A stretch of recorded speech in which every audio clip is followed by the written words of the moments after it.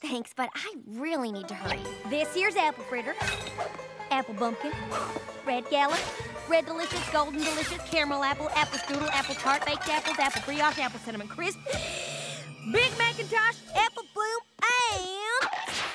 and Granny Smith. Up and at 'em, Granny Smith. We got guests.